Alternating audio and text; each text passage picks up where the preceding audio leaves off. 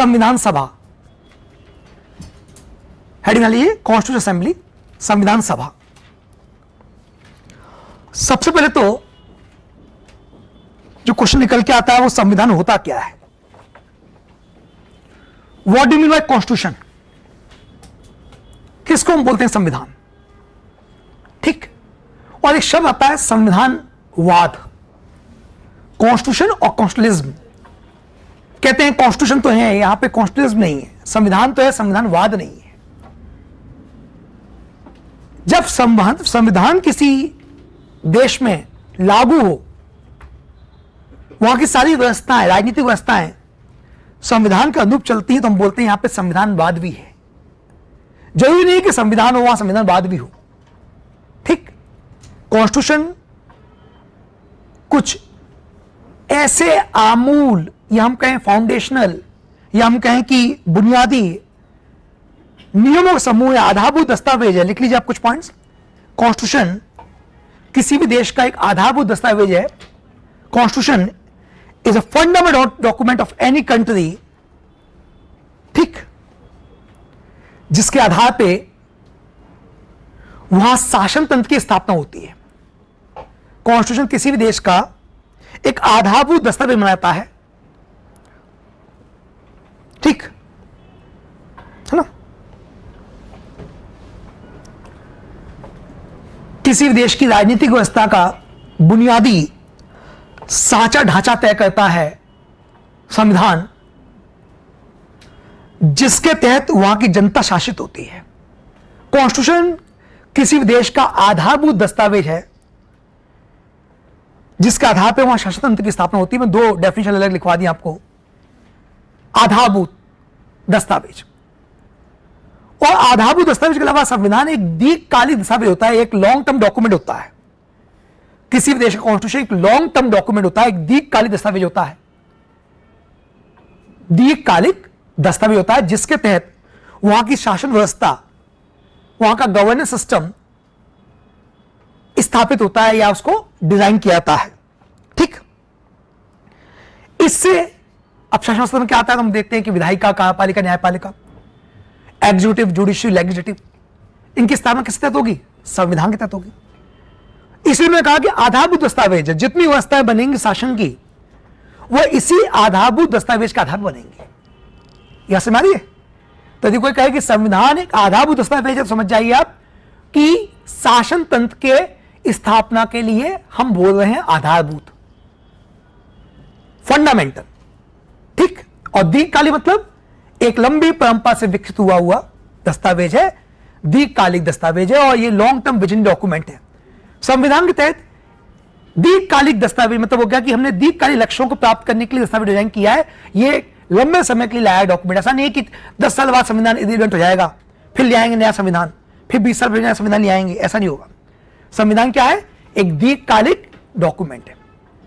ठीक? और जब कोई संविधान के देश बनता है, उसके आधार पर यदि व्यवस्था लागू होती है तो हम उसको बोलते हैं संविधानवाद। कॉन्स्टिट्यूशन यहाँ पे है। संविधान भी है, संविधानवाद भी है। अब किसी भी देश संविधान जो होता है, उसका गहरा नाता वहाँ के इतिहास से होता है। ठीक? कोई भी कॉन्स्टिट्यूशन को जब पढ़ेंगे तो आप यह जान सकते हैं कि वहाँ का इतिहास किस प्रकार का रहा होगा। यह बात मैंने इसलिए बोली कि यदि आप अमेरिकन कॉन्स्टिट्यूशन को देखें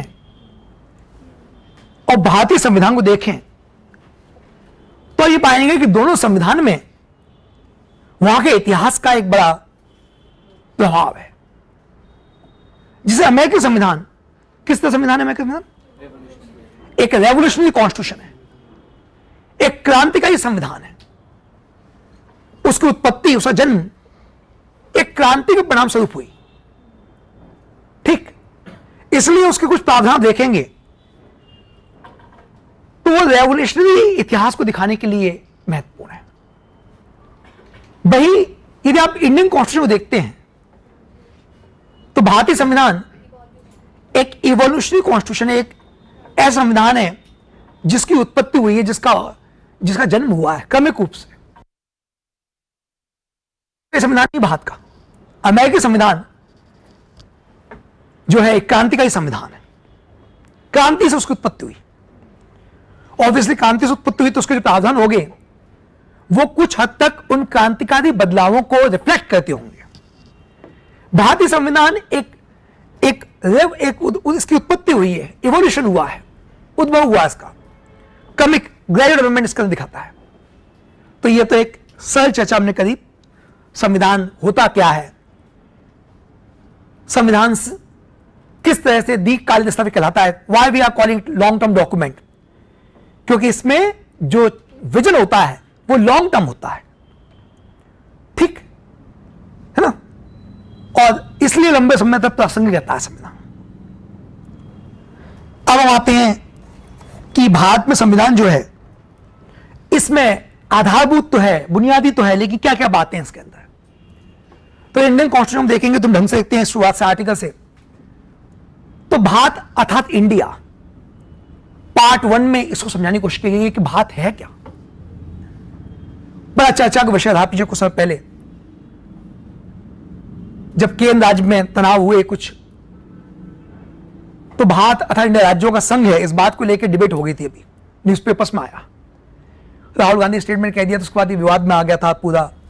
ठीक तो हाँ इसको पढ़ेंगे अपन। ये, या हालाँकि प्री की क्लास तो ज़्यादा फोकस में करूँगा इस पर लेकिन मैं आपको हवाला देता चल रहा हूँ कि इस तरह के मुद्दे आज चर्चा में रहे। तो पार्ट वन में बात है क्या? इसको बतलाया गया है। ठीक या समझ नहीं। किसी नए राज्य का जन्म कैसे होगा भारत में? किसी नए राज्य का निर्माण कैसे होगा भारत में? राज्यों का नाम परिवर्तित करना हो तो क्या होगा? ये सब पार्ट वन में है। मैंने कहा आधाभूत दस्तावेज़ तो आधारभूत इस रूप में आधारभूत पार्ट टू में जब जाएँगे तो उसमें भारत के लोगों की नागरिकता की बात की गई है कि भारत के नागरिक कौन होंगे? नागरिकता कैसे हासिल की जा सकती है? नागरिकता संबंधित तमाम जो प्रावधान है, इसमें दिए गए इस रूप में मैंने कहा भारतीय संविधान या संविधान एक आधारभूत दस्तावेज़ है।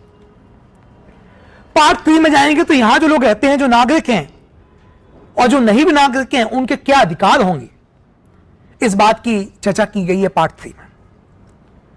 और हमारे संविधान में एक अलग से अधिकारों को भी एक अलग रूप दिया गया है, वो है मौलिक अधिकार, अधिकारों में विशिष्ट अधिकार। ऐसे अधिकार जो शासन भी चाहे तो उनसे आपको दूर नहीं कर सकती।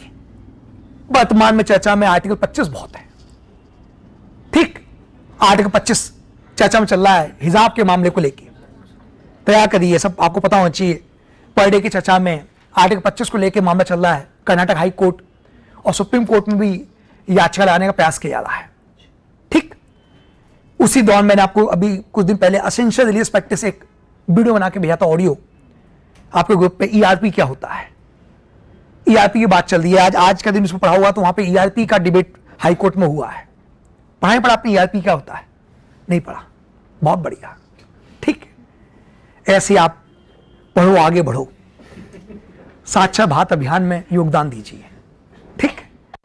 चलिए, ये तो मुद्दा हो गया, लेकिन ये सब पढ़ना चाहिए सब चर्चा विषय है।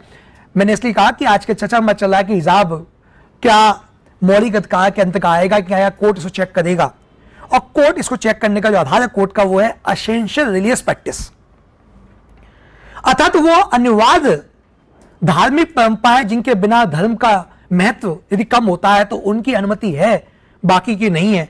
हिजाब के हिजाब के पहनने से क्या इस्लाम धर्म की परंपराएँ उन्हें ठेस पहुंचेगी कि वो वही रहेंगी? ये कोर्ट अब चेक करेगा। ये मेरा कहना मतलब ये आधार हो गया। ठीक। इसी प्रकार से डीपीएसपी दिए गए हैं मौलिक कर्तव्य दिए गए हैं। इसके आगे आप जाएँगे तो कार्यपालिका दी गई है। राष्ट्रपति के नेतृत्व में भारत में कार्यपालिका है। तो ये सम, ये तमाम जो व्यवस्थाएँ हैं ये संविधान में दी गई हैं। और ये जो व्यवस्थाएँ इन्हीं के तहत कानून बनते हैं। जो भी कानून है, वो संविधान से परे तो है नहीं। ठीक, कोई भी जो कानून बनता है, वो संविधान के तहत बनता है। उसी के तहत फिर सामान्य कानून बनते हैं, है ना?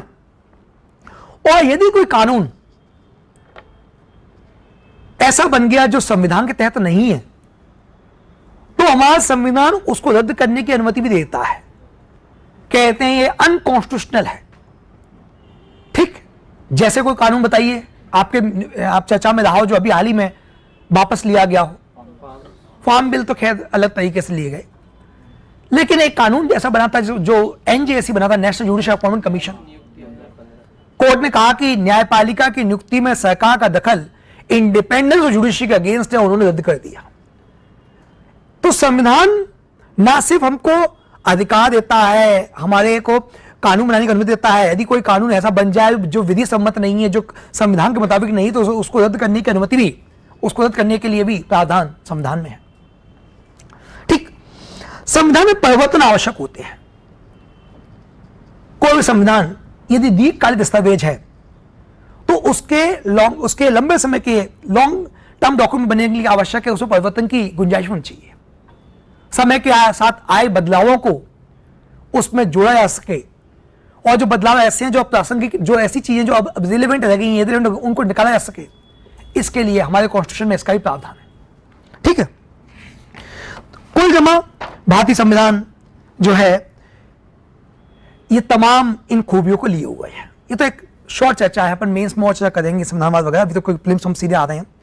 अब आते हैं संविधान सभा को लेकर यहाँ से आपका टॉपिक आज का स्टार्ट होता है, संविधान सभा। भारत की जो संविधान सभा बनी, वो बनी 1946 में। और पहली बैठक हुई थी 9 दिसंबर 1946 पहली बैठक। ठीक? 9 दिसंबर 1946 को इसकी पहली बैठक हुई थी। अब जो पहली बैठक हुई थी, इससे पहले आपको समझना पड़ेगा कि संविधान सभा के चुनाव जो हुए थे, इलेक्शन उनमें क्या क्या खूबियाँ थी?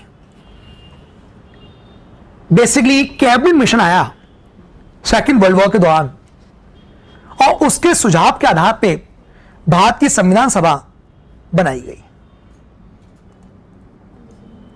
संविधान सभा बनाई गई।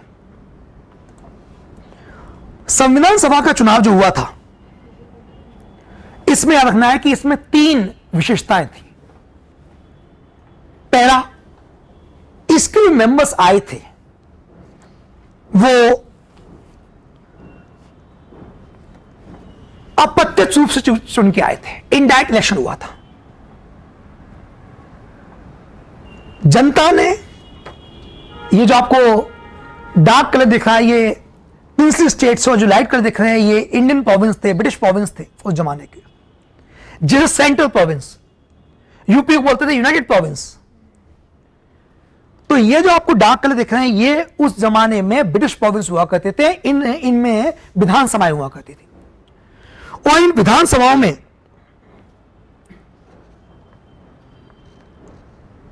जनता के द्वारा चुने गए सदस्य आए थे। और इन विधानसभाओं ने संविधान सभा के मेंबर्स को चुना था। तो यदि कोई कहता है कि संविधान सभा के लिए चुनाव हुआ था हुआ था। लेकिन चुनाव डायरेक्ट नहीं हुआ था इनडायरेक्ट इलेक्शन था।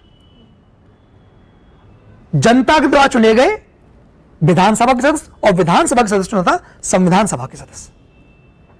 ठीक तो पहली बात तो यह कि जो स्टेट प्रोविंशियल असेंबलीज थी, वहाँ से इनडायरेक्ट इलेक्ट होकर आए थे संविधान सभा के मेंबर्स बात समझ में आ गई? जो प्रांतीय सभाएँ थी वहाँ से संविधान सभा के मेंबर चुन के आए थे। क्या तो ये। इसलिए हम कहते हैं कि संविधान सभा का चुनाव प्रत्यक्ष नहीं हुआ था। ये मैं इसलिए बात बोलूँगा कि अभी थोड़ी देर बाद मैं ये ये ये आरोप लगाऊँगा कि संविधान सभा वास्तविक भारत के लोगों की चुनी सभा नहीं थी। फिर मैं जस्टिफाइड करूँगा कि क्यों कहा गया और उसका काउंटर क्या है। लेकिन इस बात को मैंने पहले ही कह दिया कि संविधान सभा कैसी थी। इनडायरेक्ट इलेक्टेड थी। जनता के द्वारा चुनी नहीं थी। ये प्रांतीय विधानसभा चुन के आए थे इतने थे। दूसरा, संविधान सभा में जो डार्क कलर दिखा है, वो थे आपके उस जमाने की रियासतें। और जो रियासतें थी जरवाड़े थे, यहाँ से जो मेंबर चुन के आए थे, उनका चुनाव नहीं हुआ था। वो नॉमिनेटेड थे, मनोनीत थे। तो कहने मतलब संविधान सभा में दो तरह के मेंबर्स थे, निर्वाचित और मनोनीत इलेक्टेड एंड नॉमिनेट बोथ ठीक? क्लियर रियासतों में चुनावी नहीं हुए थे। दूसरी जो बात थी संविधान सभा को लेकर वो ये कि संविधान सभा के लिए जो विधान आपको पता होना चाहिए कि यहाँ पे पथक मतदाता पद्धति सैप्टेड इलेक्ट्रिक सिस्टम जो वन नाइन जो नाइन में भारत में आया गया था, उसके तहत प्रांतों के विधानसभाओं में चुनाव हुआ था। उन्नीस सौ नौ में आया था ये पार्लियामेंट्री रिफॉर्म्स और गांधी ने कहा था कि भारत के विभाजन के बीच 1909 के अधिनियम में बो दिए गए थे। ये स्टेटमेंट बहुत महत्वपूर्ण है। कभी आपको स्टेटमेंट देखा या कमेंट चर्चा कीजिए, बताइए। पता ही नहीं है तो क्या है? कुछ भी चर्चा कर देंगे कि कुछ बो दिया था 1909 में वो फिर फल बन गया। उन्नीस में ऐसे ऐसे विभाजन हो गया। टीचर भी कह रहा, बहुत बढ़िया। तुम कहा थे? बोले समय वो बोया गया था, वही खड़ा था। ठीक। लेकिन आप बताना चाहिए, उन्नीस नौ में पहली बार भारत में पथक निर्वाचन पद्धति लाई गई थी और संविधान सभा में भी इस पथक मतदान पद्धति का संबंध यह है कि जो विधानसभाएँ थी, उनका चुनाव उसी सिस्टम पे हुआ था। यह दूसरा पॉइंट है जिसका आधार पर मैं आरोप लाऊँगा अभी कि संविधान सभा में सभी लोगों को शामिल नहीं किया गया, संविधान सभा सभी लोगों की सभा नहीं थी। तीसरे संविधान सभा की लिमिटेड की सीमा यह थी कि जो इलेक्शन भी हुआ था उस जमाने में, मैं बात कर रहा हूँ विधानसभाओं का। विधानसभाओं के चुनाव जो हुए थे, उन चुनावों में सीमित मताधिकार, लिमिटेड वोटिंग राइट्स का प्रावधान था। आज के समान सार्वभौमिक सभी जो अठारह वर्ष से अधिक हैं, वो वोट डालने चले जाते हैं। ये उस समय नहीं था। उस समय लिमिटेड वोटिंग राइट्स का प्रावधान था। केवल दो ही आधार पर वोट डालने का अधिकार था, शिक्षा और संपत्ति। या तो आप शिक्षित हैं तो आपको अधिकार था और न तो संपत्ति है तो। कुल जमा मैंने तीन पॉइंट संविधान सभा के बोले। पहला, मैंने कहा कि संविधान सभा बनी, जो इसके मेंबर चुन के आए इसका गठन हुआ। ये कैबिनेट मिशन के आधार पर हुआ। मैंने कहा कि इसमें अप्रत्यक्ष इलेक्शन को यूज़ किया गया था। प्रत्यक्ष इलेक्शन हो ही नहीं था। जनता ने चुना था विधानसभाओं को, प्रांतीय सभाओं को। प्रांतीय सभाओं ने मेंबर चुन के भेजे थे संविधान सभा के लिए। दूसरा, जो विधानसभाओं के चुनाव भी हुए थे, उनमें भी सीमित मताधिकार था और सेपरेट इलेक्ट्रिक सिस्टम को लाया गया था। इस तरह से हम देखें तो संविधान सभा सही रूप में पूरे भारत की तरफ़ चुनी नहीं गई थी, इसलिए यह आरोप लगाना बहुत आसान था कि संविधान कुछ पढ़े लिखे लोगों के द्वारा बनाए, बनाकर लोगों पर थोप दिया गया। यह आरोप लगाना आसान था। और आपको लगाओ कि क्या यह बात संविधान सभा के मेंबर्स को पता नहीं थी क्या? और क्या ऐसा संविधान जो कुछ लोगों के द्वारा बनाया जाए, जिसमें इतनी, जिसके, जिसमें लोगों की भूमिका जो है वो बहुत कम हो, मान लीजिए। तो क्या वो लोगों को स्वीकार होगा? क्या वो संविधान प्रासंगिक रह पाएगा? तो संविधान सभा के मेंबर्स के सामने बड़ी चुनौती यह थी कि इन सीमाओं के बावजूद एक ऐसे संविधान का निर्माण करना जिसको सब लोग स्वीकार करें। यदि कोई कहता है कि भारतीय संविधान सभा के समय सबसे चुनौती क्या थी? तो उनके द्वारा चुनौती यह थी कि जो संविधान के द्वारा बनाया जा रहा था, वो संविधान स्वीकार हो। ठीक, संविधान बना बड़ी बात नहीं है। उस संविधान को लोग माने, यह एक बड़ी बात थी। और ये कब मानेंगे? जब संविधान सभी लोगों की आकांक्षाओं, इच्छाओं और उनकी जो जरूरतें हैं, उनको पूरा करता हो। हर एक व्यक्ति को अपना आईना दिखता हो। हर एक व्यक्ति उस संविधान में अपने भविष्य को, अपनी आकांक्षाओं को जो चाहता है, वो सब दिखाई देती है। यह कब बनेगा? जब भले ही संविधान सभा के मेंबर्स पत्थर चुन के नहीं आए, लेकिन उनका व्यू उनका दृष्टिकोण व्यापक होना चाहिए। तो भले ही कोई ये कहता है कि संविधान सभा पत्ते चुन के नहीं आई थी, संविधान सभा में ये लिमिटेशन थी कि भाई इसमें सेपरेट सिस्टम था, कि इसमें लिमिट ऑडियंस था, लेकिन संविधान सभा के सदस्यों ने इस, या हमारे उस समय के नेताओं ने इस होशियारी से काम किया, इस इस समझदारी से काम किया कि संविधान सभी लोगों की आशाओं को पूरा करता हुआ एक दस्तावेज़ निर्मित किया गया और आज भी वो दस्तावेज़ प्रासंगिक है और भारतीय संविधान एक जीवित दस्तावेज़ है। जीवित मतलब इसके जो प्रावधान है यह आज भी हमारी आवश्यकताओं को पूरा करने की क्षमता इसके अंदर है। इनमें समय के साथ बदलाव लाने की क्षमता है। ये तो सब छोटी मोटी बातें हो गई। अब आते हैं अपन संविधान सभा के। ये मैंने समझा दिया कि दो तरह के स्टेट से। लेकिन टेक्निकली आप देखेंगे तो संविधान सभा के मेंबर्स तीन जगह से आए थे। एक, आपके प्रिंसली स्टेट्स जहाँ से नॉमिनेट होकर आए थे रियासतों से। एक ब्रिटिश प्रांत जहाँ से वो विधानसभा से इलेक्ट होकर आए थे। लेकिन उस जमाने में सीसीपी प्रोविंस भी हुआ करते थे। सीसीपी प्रोविंस संविधान सभा के मेंबर्स तीन जगह से आए थे। आमतौर पर लोग जिनको कम समझे बोल देते हैं कि ब्रिटिश प्रांत से आए थे और रियासतों से आए थे। वो तो ठीक है। लेकिन उस जमाने में एक एक और इकाई थी, एक और यूनिट थी, जहाँ से आए थे वो थी CCP chief commissioner province chief commissioner province. आज के यूटी के समान चीफ कमिश्नर प्रोविंस से भी मेंबर चुन के आए थे। से भी मेंबर चुन के आए थे। ठीक? से मेंबर चुन के आए थे तो ढंग से आप देखिएगा, कंपोजिशन क्या है? इनडायरेक्ट इलेक्शन है। प्रांतीय विधानसभा चुन के आए। इनको कैबिनेट मिशन के सुझाव पे रिकमेंड पे इसका गठन हुआ। और मेंबर्स तीन जगह से आए, दो सौ बानवे मेंबर्स आए प्रोविंशियल लेजिस्लेचर से असेंबली से इलेक्ट होके आए इलेक्ट होके आए। ध्यान से वर्ड एक एक वर्ड पकड़ना है, क्योंकि एग्ज़ाम में आपके ये वर्ड से ही क्वेश्चन ढंग से डिज़ाइन होते हैं तो आपको पता होना चाहिए कि दो सौ बानवे मेंबर्स इलेक्ट होके आए प्रोविंशियल लेजिस्लेटिव असेंबली से। तिरानवे मेंबर चुन के आए थे इंडियन प्रिंसली स्टेट से और चार चुन के आए थे सीसीपी प्रोविंस से। और सीसीपी क्योंकि मैं आपको जो दिखा रहा हूँ, ये गवर्नमेंट ऑफ़ इंडिया का डॉक्यूमेंट ही है। तो आमतौर पर इसमें सीसीपी प्रोविंस मिलता है। बाकी जगह लोग सतही तौर पर दो तरह से बोल देते हैं। यदि आप पूछोगे अधिकांश लोगों से तो कहेंगे संविधान सभा के मेंबर्स दो जगह से आए थे, विधानसभा, आपके प्रांतीय सभाओं से और प्रिंसली स्टेट्स जो संख्या थी, ये थी तीन सौ थ्री एटी नाइन। लेकिन हमको पता है, हम जो मॉडर्न पढ़ते हैं तो हमको पता है कि यहीं से लीग के द्वारा पाकिस्तान की मांग को लेकर आंदोलन और तीव्र कर दिया गया। और फाइनली भारत के बंटवारे का एक नया फॉर्मूला आया, तीन जून योजना, जिसको बोलते हैं थर्ड जून 1947 को माउंट प्लान आया। लेकिन यह मत समझना कि इस बीच कुछ हुआ नहीं। इस बीच संविधान सभा ने काफ़ी कुछ काम कर लिया था। क्योंकि हम बात कर रहे हैं 9 दिसंबर 1946 की और सीधे में आ गया 1947 तीन जून को तो आप कहेंगे बीच में संविधान सभा क्या कर रही थी?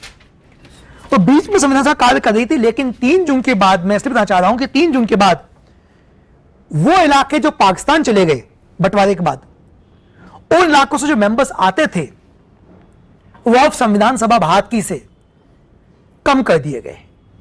और अब जो अल्टीमेट फिगर लास्ट फिगर था फाइनल वो था 299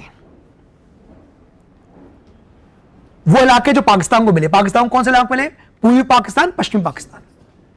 वो इलाके पाकिस्तान चले गए, उनके जाने से मेंबर्स की संख्या भी बदल गई 299 ठीक? क्लियर हो गया? यहाँ तक कोई दिक्कत तो नहीं है। अब ये मैंने कहा कि ब्रिटिश प्रांतों से मेंबर आए, रियासतों से आए और सीसीबी प्रोविंस से आए। तो ब्रिटिश प्रांतों से मेंबर आए थे, उनकी तीन कैटेगरी होती थी, या तीन कैटेगरी थी। एक, सामान्य सीटों से जो आए थे। एक, मुसलमानों के लिए जो अच्छी सीटें थी, वहाँ से जो आए थे। और एक वो सीट जो सिखों के लिए थी तो तीन तरह से मेंबर्स पे लाया गया था। ब्रिटिश प्रोविंस से जो मेंबर आए थे, वो तीन रूप में थे।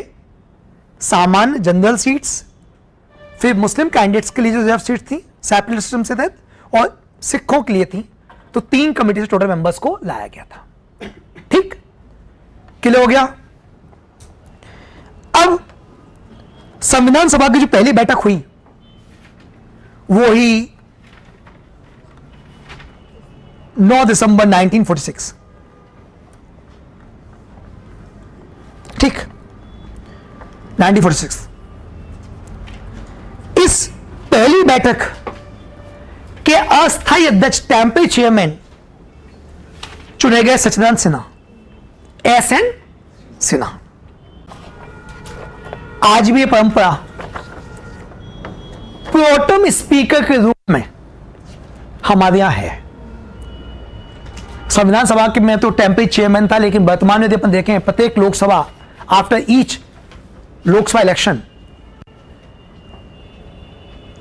Lok Sabha का एक अस्थायी चेयरमैन स्पीकर बनता है।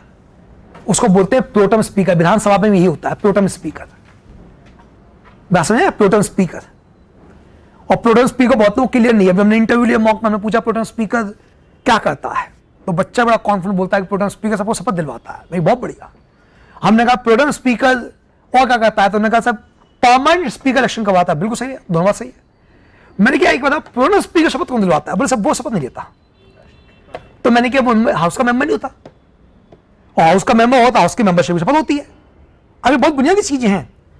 बट पढ़ते में आदमी इसको ज़्यादा फोकस नहीं करता। प्रोटोन स्पीकर जो होता है, उसको राष्ट्रपति शपथ दिलवाता है। और फिर प्रोटोन स्पीकर काम ये होता है कि नई लोकसभा में सभी लोगों को शपथ दिलवाना और शपथ ऐसा नहीं, सामूहिक रूप से वन बाय वन होती है। ठीक? और नई लोकसभा में जीत के आते हैं मेंबर्स वो अपने क्षेत्र की पोशाक आदि पहन के आते हैं और कोशिश करते हैं कि यदि वो वहाँ की यदि भाषा संविधान संविधान के अंदर मान्य है तो उसमें ही शपथ लें। कोई तेलुगु इलाके से आ रहा है तो तेलुगु शपथ लेगा। कोई मलयाली इलाके से आया तो मलयालम भाषा में शपथ लेगा। ठीक? संस्कृत में लेते हैं, इंग्लिश में लेते हैं। अपने एवन बाई वन शपथ। तो प्रोटो स्पीकर जो होता है, आज की मैंने थोड़ा सा कॉन्टेस्ट लिया कि नई लोकसभा जो प्रोटेस्ट में बनता है, वो सबसे पहले तो शपथ दिलवा, खुद शपथ लेता है राष्ट्रपति से। उसके बाद हाउस में आके वो सब मेंबर्स को बनना शपथ दिलवाता है, और उसके बाद परमानेंट स्पीकर ऑफ़ लोकसभा का चुनाव होता है।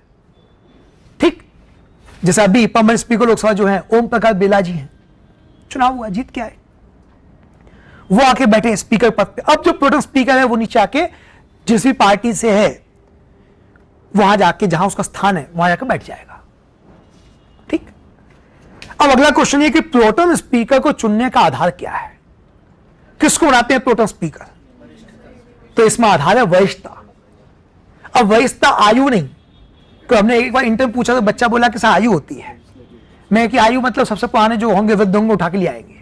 मैंने मान लो पहली बार जीत के आए हैं वो, अस्सी वर्ष की आयु है। हालाँकि बहुत मुश्किल है कि अस्सी वर्ष की आयु हो सके, राजनीति में जीत के भी आ जाए। लेकिन कुछ उसता है, राजनीति है। और जीत के आ जाए, फिर क्या वो शब्द दिलवाएँगे? बोला हाँ सब वही दिलवाए। नहीं, ऐसा नहीं है। वरिष्ठ का मतलब है अनुभव। मतलब आप कितनी बार मेंबर बन के आए हैं। जितनी ज़्यादा आप मेंबरशिप जीत के आए हैं लोकसभा के अंदर, उतना आपके अनुभव को यहाँ काउंट किया जाएगा। तो यह वरिष्ठता का मतलब हो गया संसद के सदस्य बनने का अनुभव। और उस अनुभव को यहाँ पे योग्यता वरिष्ठता माना गया है। बात समझ में आ गई? ये बहुत छोटी चीज़ें हैं, लेकिन पता होनी चाहिए। तो यहाँ पे सचिदानंद सिन्हा जी ने इसी प्रकार से टेम्परी चेयरमैन का पद लिया। टेम्परी चेयरमैन का पद लिया, उसके बाद सचिन सिन्हा ने अपनी स्पीच पढ़ी, ठीक? और जो भी उनका गुडविल मैसेज था, वो ने पढ़ा। बहुत सारे देशों से गुडविल मैसेज आया था, ठीक? है ना? ये सब रहा। अब आपको ये पूछ सकता है कोई कि सचिदानंद सिन्हा को क्यों चुना गया? मैंने आपको हिंट दे दी कि यहाँ चुनने का आधा था अनुभव। सचिदानंद सिन्हा को यदि आप हिस्ट्री पढ़ेंगे मॉडर्न हिस्ट्री में तो आप पाएँगे कि इनका ब्रिटिश काल में सदन के कामकाज का अनुभव था। हम मैं हिंट दे रहा हूँ जान पूछा कुछ बोलूँगा नहीं, ताकि थोड़ा जाकर मॉडर्न हिस्ट्री में उन्नीस नौ के आसपास, उन्नीस दस के आसपास बात हर चीज़ें टटोली, थोड़ा देखिए, पढ़िए इनके बारे में। ठीक? हालाँकि मैं लिखवा दिया, पुरानी क्लासेस में जो मेन्स क्लास हुई थी, मैंने लिखवाया था इनके बारे में, थी माकर अब मैं ज़्यादा यहाँ पर चर्चा नहीं कहूँगा कि हिंट दूँगा कि ये इनके बारे में आपको पता होना चाहिए। इसके बाद राजेंद्र प्रसाद जो है, स्थायी अध्यक्ष चुन लिए गए संविधान सभा के। ठीक? यहाँ तक बात समझ में आ गई। राजेंद्र प्रसाद बन गए स्थायी अध्यक्ष। अब जो संविधान सभा थी, इसका काम शुरू हुआ, सेशन शुरू हुआ। और सबसे पहले 13 दिसंबर 1946 को पंडित जवाहरलाल नेहरू ने उद्देश्य प्रस्ताव प्रस्तुत किया। 9 दिसंबर को पहली बैठक हुई और 13 दिसंबर को पंडित जी ने उद्देश्य प्रस्ताव प्रस्तुत किया। उद्देश्य मतलब इस संविधान सभा का उद्देश्य क्या है? जैसे उन्होंने कहा this constant assembly declares its form and solemn resolve to proclaim India as an independent sovereign republic and to drop for her future governance a constitution है ना? फिर उन्होंने कहा कि भारत में कौन कौन से इलाके होंगे, क्या होंगे? इस तरह से एक एक जो है, उद्देश्य, प्रस्ताव पूरा पढ़ा गया। ये टोटल उद्देश्य प्रस्ताव मैंने मार्क कर दिया है, इसको देख लीजिएगा। ये आठ पॉइंट है पूरे। पढ़ना चाहिए आपको। उद्देश्य प्रस्ताव पढ़ने से आपको काफ़ी चीज़ क्लियर होंगी कि क्या, किस तरह का ये उद्देश्य प्रस्ताव था। उद्देश्य प्रस्ताव पे चर्चा हुई, बहस हुई। और चर्चा बहस होते होते नया साल लग गया। 22 जनवरी 1947 को उद्देश्य प्रस्ताव को सदन के द्वारा स्वीकार कर लिया गया, बिना किसी विरोध के। अपना लिया गया कि यह उद्देश्य है, अब इस उद्देश्य को लेकर अपन संविधान निर्माण का कार्य शुरू करेंगे। ठीक? क्लियर हो गया? है ना? उद्देश्य प्रस्ताव। आया कब था? तेरह दिसंबर। पास कब हुआ? बाईस जनवरी। ठीक? तो अपन एक क्रम में चीज़ों को देख रहे हैं। 1946 से इलेक्शन हुए। विधानसभा के उस इलेक्शन से आपकी कैबिनेट मिशन के रिकमेंडेशन बनकर आई संविधान सभा। 9 दिसंबर को पहली बैठक हुई 13 दिसंबर को आपका आ गया उद्देश्य प्रस्ताव 22 जनवरी को उद्देश्य प्रस्ताव पास हो गया। पास ठीक। अब ये उद्देश्य प्रस्ताव था, इसके साथ ही निर्माण कार्य भी अपना आगे बढ़ने लगा। लेकिन बीच में मैंने कहा कि तीन जून को बंटवारे की घोषणा होगी। और बंटवारे की जैसे घोषणा हुई तो अब संविधान निर्माण को रोकना पड़ा, क्योंकि भाई, अब अपन उसको निरंतर रखते हैं तो सही होगा कि जो बंटवारे के इलाके जाएँगे, उनके लिए प्रावधान करने पड़ेंगे। तो कुछ कुछ समय रोका गया इसको और संविधान सभा के सेशंस होते थे। सत्य होते थे, जैसे भी होते नहीं है। संसद के सत्य होते हैं। साल में तीन सेशन होते हैं पार्लियामेंट के। बेड सेशन चल रहा है अभी। फिर आएगा आपका मानसून सेशन फिर आएगा शीतकालीन सेशन ऐसी संसद संविधान सभा के सत्य हुआ करते थे। ठीक? अब हम देखेंगे कौन सत्य में क्या पास हुआ, लेकिन आपको आइडिया होना चाहिए।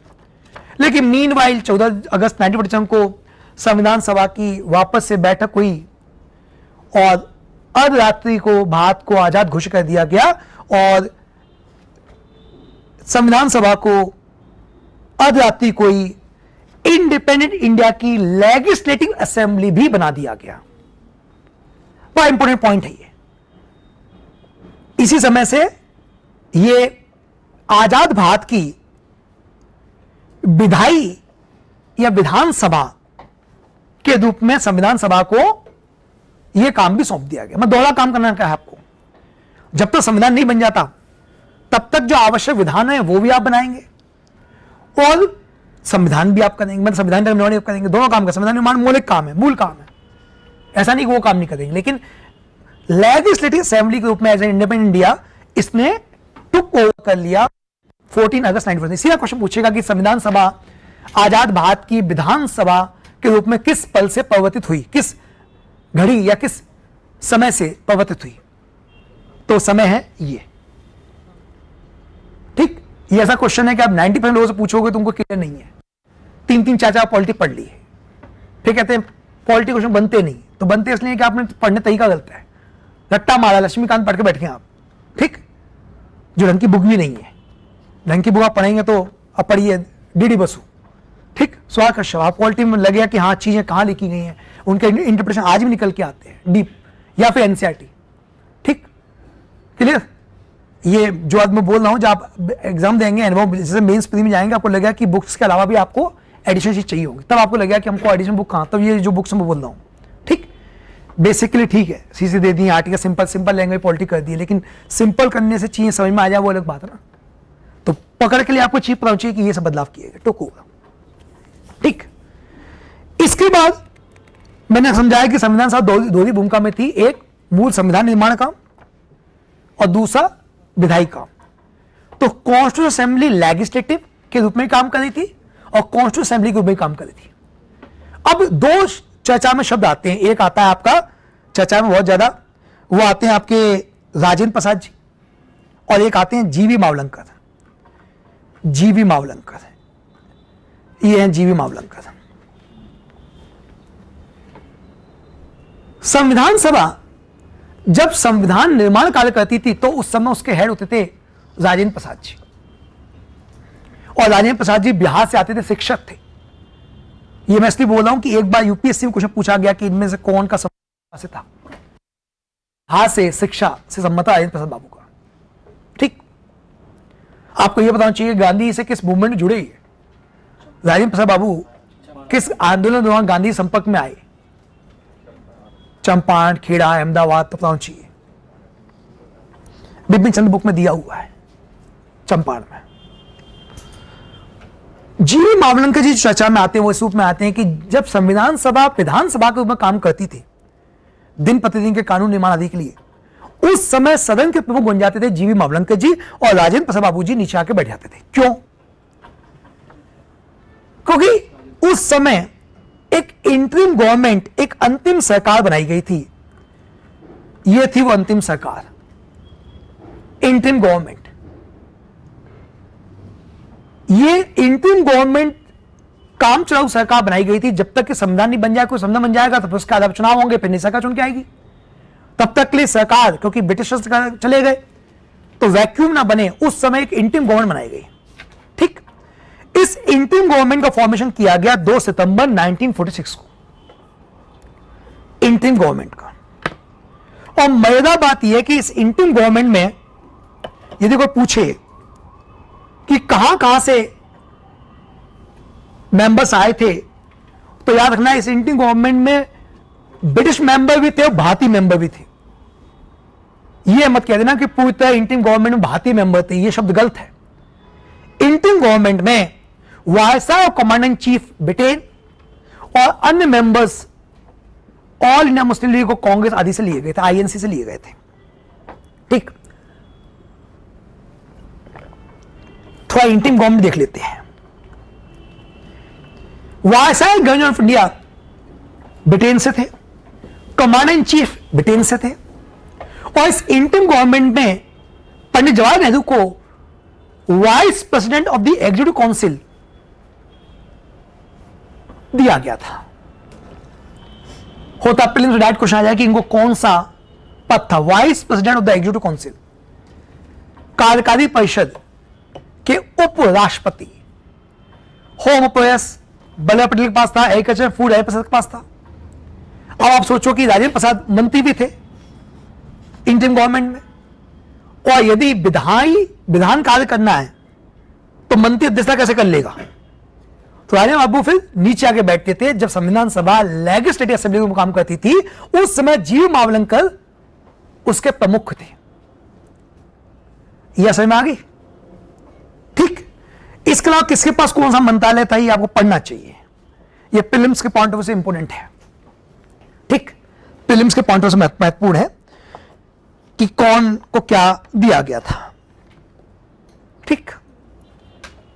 अब अब हम आते हैं, थोड़ा आगे बढ़ते हैं चीज़ों को लेके कि 29 अगस्त 1947 जस्ट 14 अगस्त के बाद ये वो दिन है जब संविधान सभा की सबसे महत्वपूर्ण कमेटी बनाई गई। नाम था इसका ड्राफ्टिंग कमेटी। और इसके चेयरमैन थे डॉक्टर बी आर अंबेडकर। इनका मूल काम था, पालूप कमेटी बोलते हैं तो ड्राफ्ट करना कॉन्स्टिट्यूशन ऑफ़ इंडिया को। भारत के संविधान का ड्राफ्टिंग का काम इनको दिया गया। ठीक। कंप्लीट कार्य संपन्न हुआ। डिबेट डिस्कोर्स आदि होकर। और 26 नवंबर 1949 को संविधान जो है, उसको अडॉप्ट कर लिया गया। अडॉप्ट कर लिया गया। ठीक? दो तीन चीज़ें आपको पता होनी चाहिए कि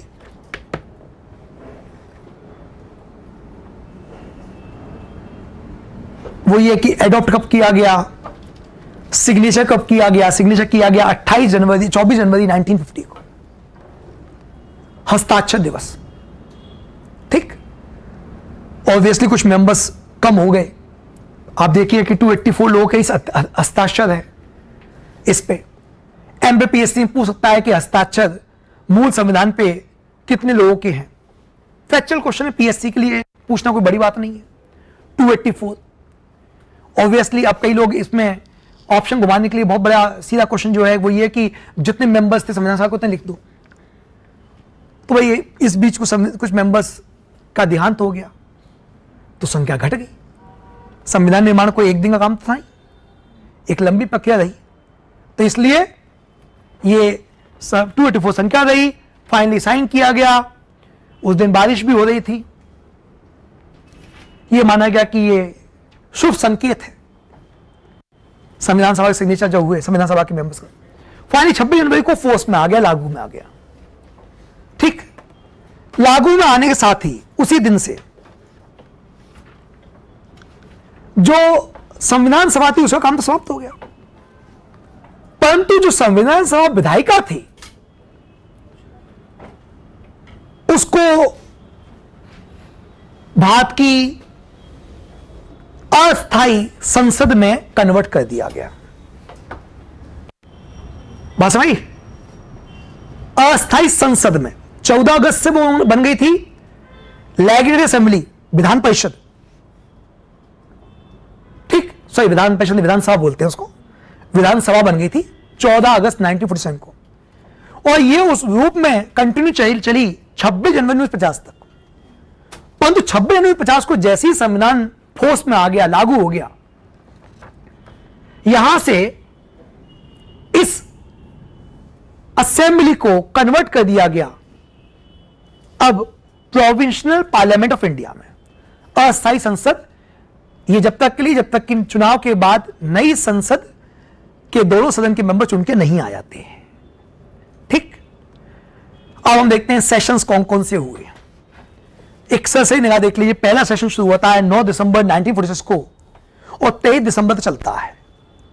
यदि कोई पूछे कि इस पहले सेशन में क्या क्या हुआ तो हमको अच्छे से पता है कि पहले सेशन में सबसे पहला काम तो यह हुआ कि एक टेम्परेरी चेयरमैन चुने गए, उसके बाद एक परमानेंट चेयरमैन चुने गए, और हमने ये देखा कि इस पहले सेशन में उद्देश्य प्रस्ताव ला दिया गया, पंडित जी के द्वारा।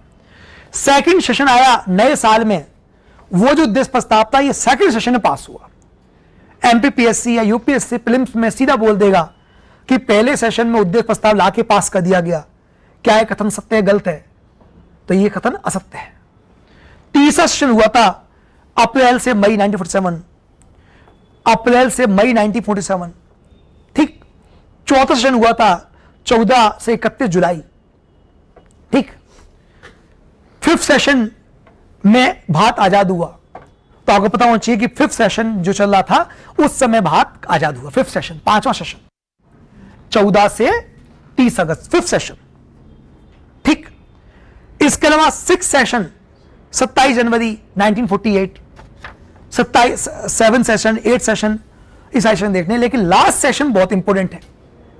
लास्ट सेशन इसलिए इंपॉर्टेंट है कि आपको यह पता चाहिए कि जो लास्ट सेशन है, वो है 14 से 26 नवंबर। हो सकता है तारीख घुमा के वो कह दे 14 से 26 जनवरी। ठीक? 14 से 26 जनवरी। है ना? क्लियर तो 14 से 26 नवंबर। है ना? ये रहा। तो सिग्नेचर जब किए गए, वो किस सेशन का भाग था? क्योंकि सेशन कमिट हो गए थे। ठीक। अब ये सेशन तो हुए इसके। लेकिन संविधान सभा काम कैसे करती थी? संविधान सभा काम ऐसे करती थी कि पूरे संविधान के निर्माण का जो कार्य था, वो कमेटियों को बांट दिया गया। जैसे committee on the rule of procedure steering committee finance staff committee house committee all of business committee ad hoc committee on national flag committee on the function of constituent assembly state committee advisory committee on funded rights minorities tribals इस तरह कमेटियों को काम बांटा गया, ये आपको याद करना है, इसमें अब मैं कुछ नहीं करता ठीक? लेकिन कमेटी की रिपोर्ट्स पे सदन में होती थी डिस्कशन डिबेट और बहस करके इसको पास करते थे। यह आपको जानना बहुत आवश्यक है, क्योंकि इससे आप यह समझ पाएँगे कि संविधान निर्माण जो किया गया, उसमें इस बात का सदैव ध्यान रखा गया कि इसका निर्माण ऐसा किया जाए जो समावेशी इंक्लूसिवनेस को लेके आए। कहीं यह आरोप लग गया कि संविधान कुछ पढ़े लिखे लोगों के द्वारा बना के एक अनपढ़ बड़ी जनसंख्या पर थोप दिया गया। ठीक, संविधान के हर पहलू पर पर्याप्त चर्चा करी गई। और कुछ चर्चाएँ जो बहुत महत्वपूर्ण भी हैं, जो आपको पता होनी चाहिए, मैं एक दो पढ़ देता हूँ, ताकि आप समझ पाए कि क्या हमारे संविधान निर्माताओं का दृष्टिकोण था। ठीक, क्या दृष्टिकोण था? जैसे चार नवंबर 1948 की बात है। डॉक्टर अंबेडकर इस बात का जवाब देते हैं कि संविधान में ऐसी बहुत कम सामग्री है, जो मूल है, ये सब कहीं ना कहीं से उठाया गया है, बोलो किया गया है। ये हम जानना ज़रूरी है कोई कई बार बोल देते हैं, इस भारतीय संविधान क्या है? ये दूसरे देशों संविधान से उधार लिया गया है। जो अंबेडकर की बातें सुनिए, वो क्या कह रहे हैं? वो कहते हैं, मैं पूछना चाहूँगा कि क्या विश्व के इतिहास में इस समय बनने वाले की संविधान में कोई नई बात कही जा सकती है? वो कह रहे हैं कि 1946 में हम खड़े हैं 1947 में हम खड़े हुए हैं, है ना? फोर्टी में हम खड़े हुए हैं। सेकेंड वर्ल्ड वॉर खत्म हो गया है, संविधान निर्माण कोई नई बात नहीं है, दुनिया के देश संविधान बन चुका है। तो क्या इससे बनने के संविधान में कोई नई बात हो सकती है हमारे अलावा किसी और देश में भी? आगे कह रहे हैं, सैकड़ों साल बीत गए जब प्रथम लिखित संविधान का पादुक तैयार किया गया था। ठीक? कई साल बीत गए हैं जो पैसों लिखा गया। अनेक देशों ने इसका अनुकरण करके अपने संविधान को लिखित रूप में कन्वर्ट कर लिया। संविधान का विषय क्षेत्र क्या होना चाहिए? इस प्रश्न का समाधान बहुत पहले हो चुका है। संविधान का मूल आधार क्या होना चाहिए? इससे सारी दुनिया परिचित है। सभी संविधान के मुख्य प्रावधानों में एक समानता दिखाई देती है। ठीक? है ना? इतना समय बीत जाने पर जो संविधान बनाया गया है, उसमें यदि कोई नई बात कही जा सकती है तो अब वो कह रहे हैं भारत संदर्भ में। बोले, हम लगे हैं संविधान निर्माण फोर्टी सिक्स से। और यदि कोई पूछता है कि इसमें नई बात क्या है तो उन्होंने कहा कि ध्यान नई बात क्या है? उन्होंने कहा कि यदि कोई नई बात कही जाती है तो वह यह है कि इसमें त्रुटियों को दूर करने और देश की जरूरतों के अनुरूप बनाने के आवश्यक हेर फेर किए गए हैं। यह बात बहुत ज़रूरी है ना कि यह कह देने से कि हमने मौलिक अधिकार अमेरिका से लिए। यह आपकी संविधान के प्रति कमज़ोर समझ को दिखाता है। मौलिक अधिकारों का जो प्रावधान, जो कॉन्सेप्ट है, वो हमने अमेरिका से लिया है। मौलिक अधिकार अमेरिका से नहीं लिए। हमारे मौलिक अधिकार हमारे खुद के हैं। हमारे लोग का अनुरूप है। क्योंकि अमेरिका के मौलिक अधिकार में तो मैंने कहा था कि बहुत खतरनाक खतरनाक मौलिक अधिकार वहाँ पर एक अधिकार है राइट टू बी आर्म्स हथियार धारण करने का अधिकार। भारत में नहीं है। यदि आप भारत में हथियार लेकर घूम रहे हैं और लाइसेंस नहीं है तो आप जेल चले जाएँगे। आप ये नहीं कहेंगे कि अमेरिका से मौलिक हथियार लिए वहाँ पे था तो फिर मैं इंडिया में हूँ तो मुझे भी मिलना चाहिए। ठीक? राइट टू बी आर्म्स अगले खबर आएगी। अवैध हथियार लेके घूमते हुए पकड़े गए। ठीक? ढाई पे खाना खा रहे थे। ऐसी खबर आती है, पर डे न्यूज़ पेपर्स में। है ना? अब वहाँ ये क्लेम करें आप टी आई से कि सब वो, अमेरिका के संविधान में मौलिक अधिकार लिया गया है वहाँ से। दो तीन लपड़ों लाएगा कौन ऐसा ही बोलेगा कि इसको थोड़ा ढंग से समझाओ। भारतीय संविधान एक आध घंटे समझा दो उसको। निकलेगा वहाँ, समझाता हुआ अपना। बोले no I understand all the import of मौलिक अधिकार है ना? तो ये चीज़ है। लेकिन ये हँसी महक बात होगी लेकिन मैंने कहा कि ये समझना बहुत ज़रूरी है कि मौलिक अधिकार वहाँ से जो लिए गए वो संकल्पना ली गई जो अंबेडकर जी ने कहा। ठीक? हमने कहा कि कुछ नया क्या हम करेंगे? और नया करने की आवश्यकता क्यों है? जब हमारी वर्तमान मौजूदा अवस्थाओं से ही हमारा काम चल सकता है। हाँ यदि बदलाव है तो हमने वो भी किए वो किए भारत की ज़रूरत के मुताबिक। ठीक तो ये बहुत अच्छा स्टेटमेंट था। है ना? एक और उन्होंने आरोप को बहुत स्पष्ट किया। एक मेंबर ने कहा कि आपने क्या किया है? 1935 के भारत सरकार अधिनियम को उतार दिया है। कॉपी कर दिया है।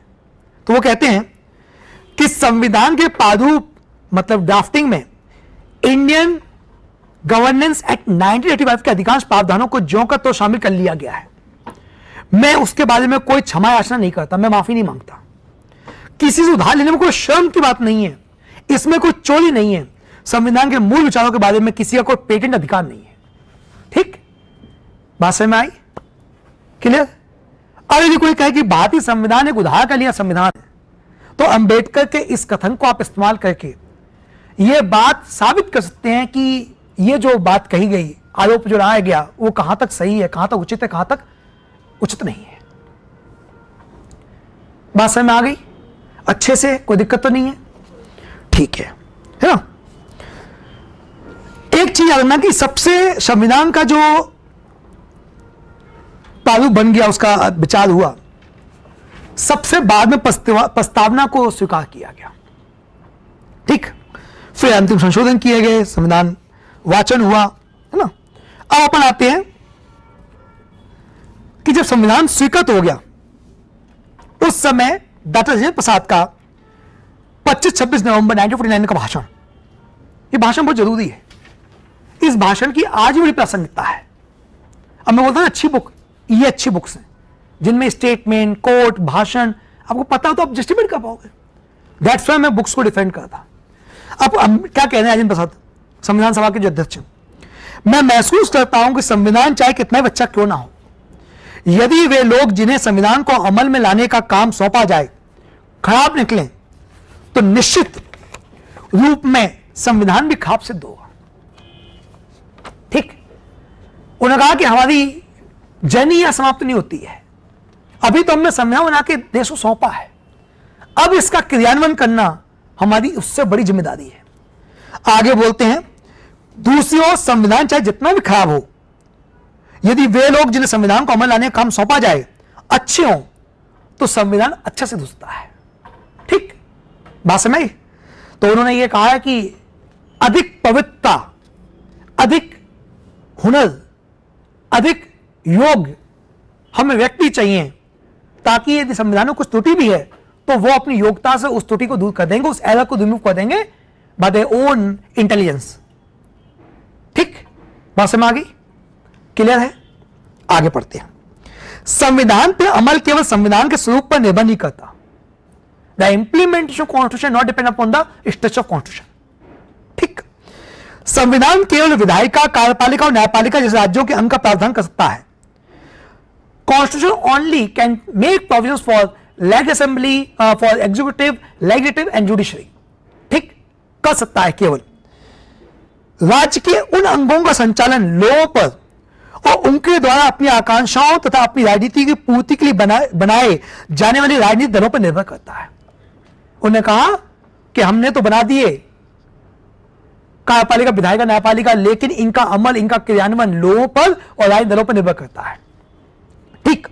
ना कौन कह सकता है कि भारत के लोगों और उनके राजनीतिक दलों का व्यवहार कैसा होगा? जातियों तथा संप्रदाय के रूप में हमारे पुराने शत्रुओं के अलावा विभिन्न तथा परस्पर विरोधी विचार रखने वाले राजनीतिक दल बन जाएँगे।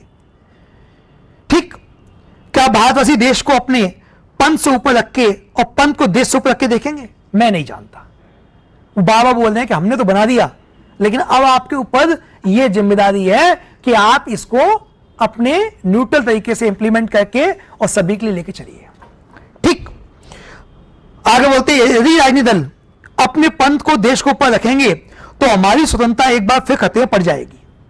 मतलब दल यदि कहेंगे, धर्म ऊपर है, दल नीचे है, संविधान को न मानते हुए पंथ को माने, जो आज अपने यहाँ होता है, कई बार सुनते हैं कि पॉलिटिकल पार्टी दल अपने पंथ को ऊपर रख के अपनी स्वतंत्रता एक बार फिर खतरे पड़ जाएगी संभवतः हमेशा के लिए खत्म हो जाएँगे। हम सभी को इस घटना का दृढ़ निश्चय साथ प्रतिकार करना चाहिए। हमें अपनी आज़ादी की खून के आँखें का अच्छा करने का संकल्प करना चाहिए। तो ये राहिम बाबू का अच्छा स्टेटमेंट है। इसी प्रकार से उनके कुछ और भी स्टेटमेंट थे ना जो मैं आपको शेयर कर दूँगा ग्रुप के ऊपर। लेकिन आपको आ, यह समझना है कि संविधान किस तरह से बनाया गया?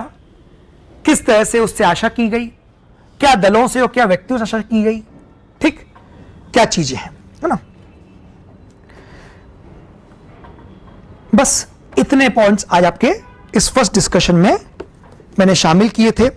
मेंबर्स कौन सी कमेटी को थे, वो आप, मैं लिस्ट दे दूँगा तो वो पढ़ लीजिएगा। एक चीज़ और, जो लास्ट में थी ड्राफ्टिंग कमेटी मेंबर्स कौन है वो बताऊँ चाहिए आपको। ठीक? ड्राफ्टिंग कमेटी के मेंबर्स कौन से? एक व्यक्ति ऐसा था संविधान सभा में, जो संविधान सभा का सदस्य नहीं था। लेकिन उसने संविधान सभा की बहस आदि में काफ़ी भाग लिया। बी एन राव आ गया कि बी एन राव जाने माने न्यायविद थे। आ गया कि बी एन राव कहाँ पर पहुँचे? क्या पद उन्होंने लिया? आईसीजे आईसीजे में पहुँचे। इंटर कोर्ट जस्टिस में। वहाँ भी वो शामिल कुल जमा आपका संविधान बन के लागू हो गया। अब बात थी इस संविधान के आधार पे संसद का गठन और भारत के पहले आम चुनाव।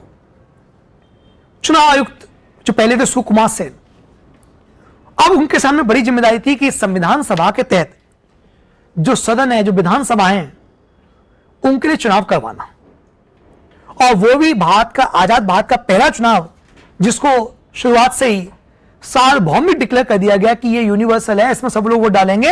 एडल्ट वेस्कर का आधार पर चुनाव का वोट डालने का आधार सबको दे दिया कई लोगों ने आरोप लगाया कि नेहरू अपने जीवित रहते हुए लोकतंत्र की हत्या देखेंगे।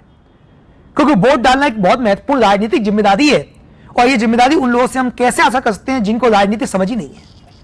उनके वोटों को लोग दुरुपयोग करेंगे आदि। क्योंकि दुनिया कई देशों में उस समय तक वोट का अधिकार नहीं दिया गया तो कई जगह तो देश, कई देशों में महिलाओं का अधिकार नहीं था। लैंगिक आधार पर जेंडर के आधार पर भी वोटिंग राइट्स नहीं थे। और हमने एक झटके से आज़ाद भारत में सभी लोगों को वोटिंग राइट दिया था सुकुमार सेन के लिए एक बड़ी ज़िम्मेदारी थी कि उन्होंने भारत के पहले आम चुनाव करवाए। उन राज्यों में जहाँ बर्फ़ पड़ती थी ठंड पड़ती थी वहाँ पहले चुनाव करवाए गए। इस पर कुछ एडिटोरियल आर्टिकल आए थे मैंने शेयर किए थे। और मैं आशा करता हूँ कि आपने उसको नहीं पढ़ा होगा। ठीक? मैं हमेशा पॉजिटिव आशा करता हूँ। क्योंकि पॉजिटिव आशा करने से क्या है कि फिर मैं बता, बताने के लिए आगे बढ़ जाऊँगा। और मैं कह दूँगा, आपको आता है, पढ़ा होगा, आपने आप कहीं यहाँ से पढ़ा था। ठीक? थोड़ा थोड़ा पढ़ा था। अब याद नहीं आ रहा है। मेमोरी कम हो गई है। ठीक? है ना? कारण क्या है? वो सब उम्मीद कौन चढ़ता है तो मेमोरी कम हो जाती है। ठीक है, कोई दिक्कत नहीं है। वो आर्टिकल में द्वारा शेयर कर दूँगा, लेकिन पढ़ना चाहिए कि कैसे चुनाव करवाइए आपका अनुभव होना चाहिए अभी चुनाव चल रहे पाँच अज्जू एक चीज़ और महत्वपूर्ण थी कि ये जो चुनाव प्रक्रिया शुरू हुई थी, उन्नीस सौ इक्यावन शुरू हुई, बावन में कंप्लीट हुई। एक बार पीएससी चुनाव क्वेश्चन आ गया था पहला चुनाव कब हुआ था? इक्यावन शुरू हुआ था बावन में। उन्होंने आंसर बावन दे दिया। अब क्यों दिया? उनसे पूछना पड़ेगा।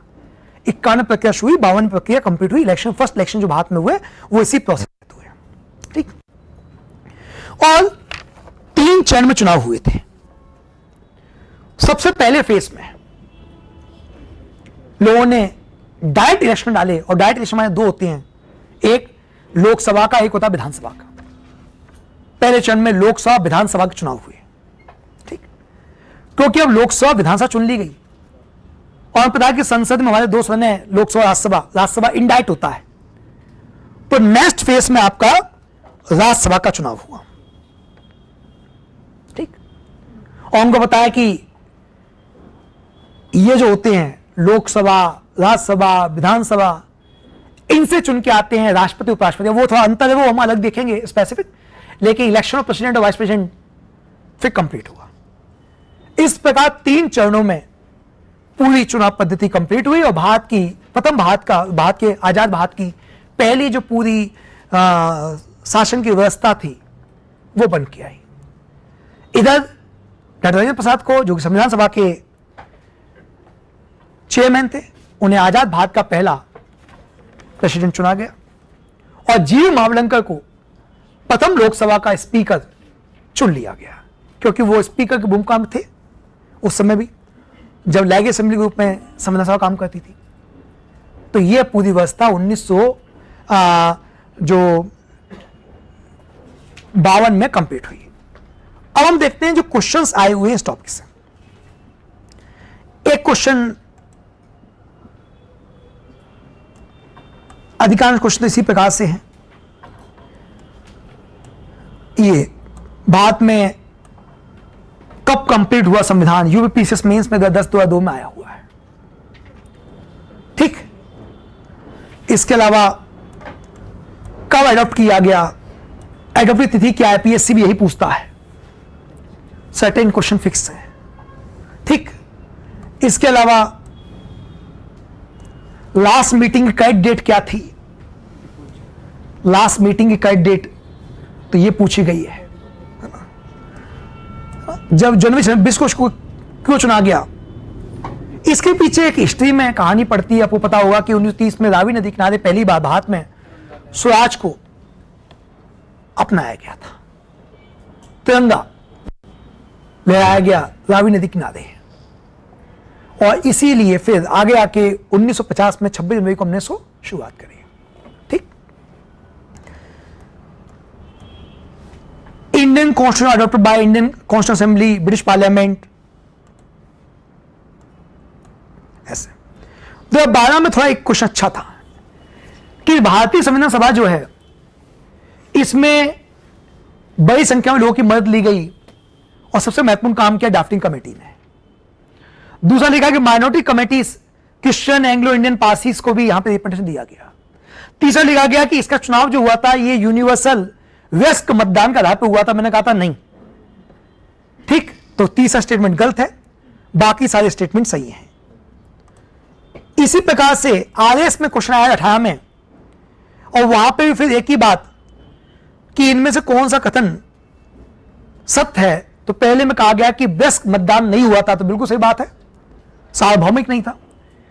ठीक, है ना? तो क्या क्या स्टेटमेंट इसमें करेक्ट हैं, वो इसमें से देख लीजिएगा। ठीक? आई एस दो हज़ार दो में। मेंबर कहाँ चुने गए? कौन असेंबली के? ठीक?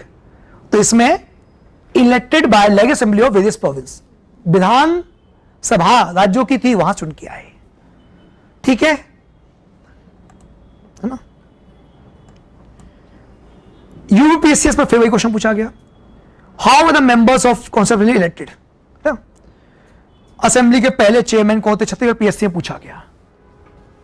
क्लियर है ना? दो तेरह में आईएएस में फिर क्वेश्चन आया कि कैसे चुने गए मेंबर्स एक एक क्वेश्चन बार बार घुमा घुमा के पूछ रहे हैं। संविधान सभा में ये ऐसा मामला है जो अधिकांश लोगों को क्लियर नहीं है। मैंने आपको स्पष्ट कर दिया है, और डिटेल में कि सीसीपी क्या होता है ब्रिटिश प्रोविंस क्या थे प्रिंस स्टेट्स क्या थे, सब चीज़ें यही यूपी फिर से पूछा गया। एक क्वेश्चन आरएस में आया है, इसमें मिलाने को आया है कि किसको, किस, कौन कौन सी खूबियाँ तो इजीली मिला लीजिएगा। कमेटीज आपको याद करनी पड़ेंगी, उसमें ज़्यादा मेरा रोल नहीं है।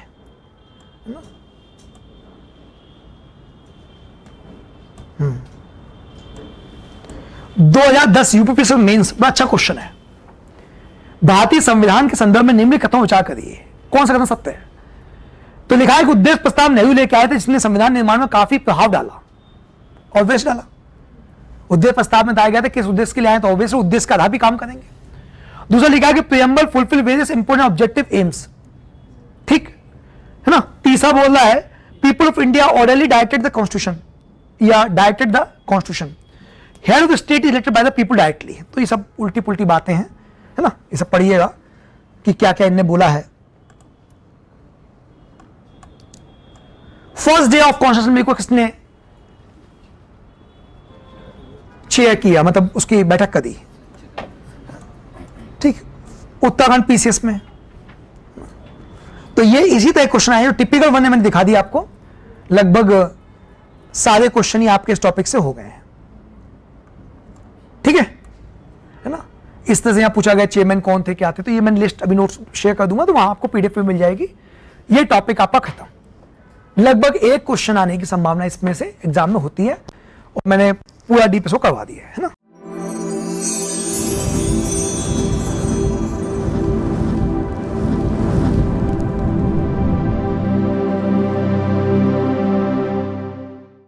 धन्यवाद।